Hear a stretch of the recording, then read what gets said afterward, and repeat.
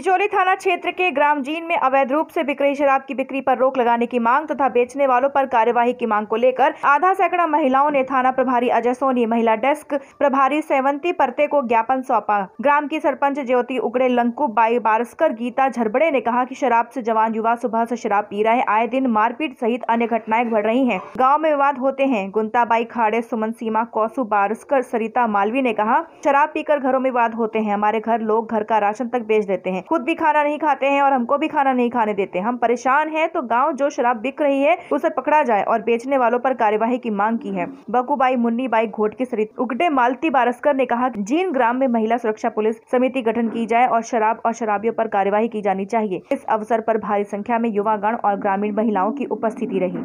Are nine Bharat राष्ट्रीय news channel district crime bureau chief Rameshwar Laxman Betul. R nine Bharat. आप लोग यहाँ पे क्यों पहुँचे हैं क्या? इकट्ठे हुए हैं हमारे गाँव की दारू बंद होना चाहिए हम बहुत परेशान हैं। हम्म, और सबको हमने इकट्ठा किया संगठन किया हमने। हम्म।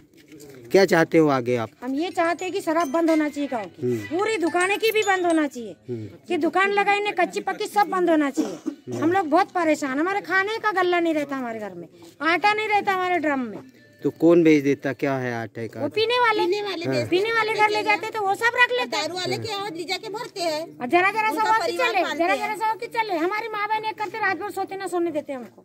खाते ना खाने देते। अगर ना सुने तो लड़ाई करते घर लड़ाई करते हमको मारने के लिए तैयार हो खड़े होते हैं। पूरी नशा बंद होना चाहिए दारू पूरी बंद होना दुकानें भी आठ बजे बंद हो जाना चाहिए। इसलिए आपने आवेदन दिया हाँ। है इसलिए हमने आवेदन दिया और आवेदन बनाया हमने। और आज सुबह भी कुप्पी आई है। मेरे घर के सामने से गए मैं बोलने गई तो कोई सुनने को तैयार नहीं मेरा। चालीस लीटर की कुप्पी आई आज भी। आप सरपंच मैडम हो तो ये जो आज ये जीन के स्टाफ पे क्यों ढेर सारी महिलाएँ एकत्रित होती है? और पुलिस की टीम भी यहाँ आई हो क्यों आई है? क्या है हो रहा है यहाँ पे? नशा मुक्ति के लिए कि गाँव में शराब न बिके। इसमें गाँव के बच्चे हम लोगों को प्रभाव पड़ रहा है। बच्चे बिगड़ रहे हैं। गाँव में सुबह से चालू हो जाती शराब बिकना। शाम तक शराब बिकती है। बाहर के लोग लाके यहाँ बेचते हैं। ये ना हम बेचे गाँव में नशा मुक्ति चलाए। अच्छा।